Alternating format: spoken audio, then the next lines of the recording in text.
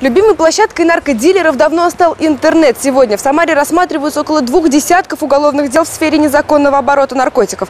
В самом крупном из них 23 фигуранта, 13 эпизодов.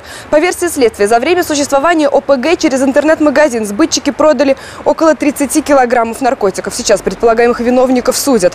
Согласно данным полицейских, наркопреступность молодеет. И сегодня тем, кто продает наркотики, как правило, не больше 25 лет.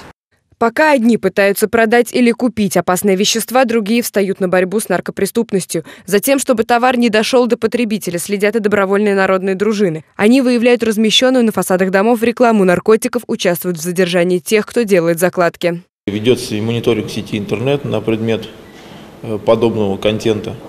А в обязательном порядке как бы, еще выявляются места произрастания дикорастущей конопли и запрещенных растений – то есть в данный момент тоже выявляются. То есть каждый месяц составляются отчеты и отправляются в соответствующие органы.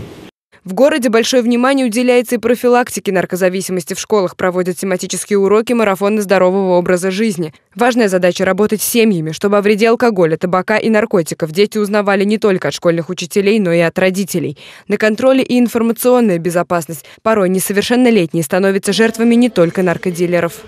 Организована работа по изучению связи несовершеннолетних с интернет-сообществами, пропагандирующих суициды, криминальную субкультуру, а также противоправные и экстремистские действия. На 26 сентября 2017 года нами выявлено три подростка, мы знаем образовательные учреждения, с ними и их родителями проведены профилактические беседы, поведение данных учащихся взято на контроль. Наркотики в Самару пытаются провести и из-за рубежа. С начала года таможня предотвратила свыше 40 случаев ввоза опасных веществ в регион. Алина Чемери, Станислав Левин. События.